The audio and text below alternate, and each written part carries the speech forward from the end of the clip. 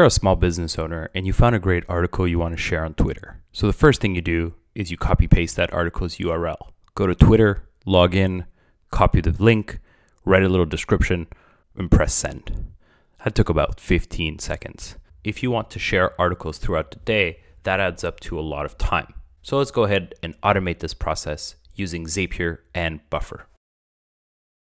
So this is what it's going to look like. I find this great article on training dogs. I write the tweet, press send using Zapier Push, and it's in my Twitter feed.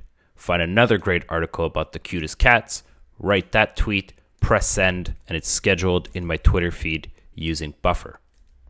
So in Buffer, we see that both of our tweets are scheduled at different times. That means you can batch your work and schedule all of your tweets in one go.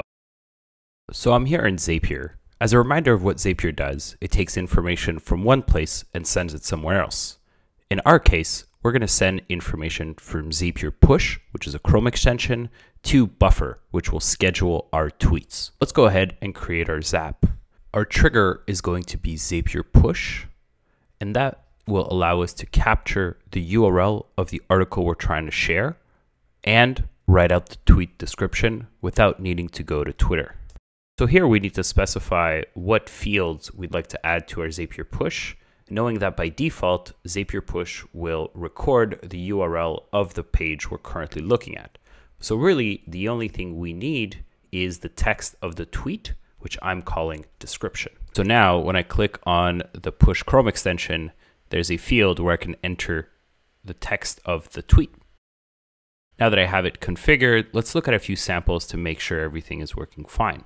So here we have the example of the first article I saved about the cats. So I have the URL and I have the description and now I'm ready to send that to Buffer. So from there, it's relatively simple. We just send our data to Buffer. We want it to add to the end of the queue. We connect our Buffer account, which I've already done.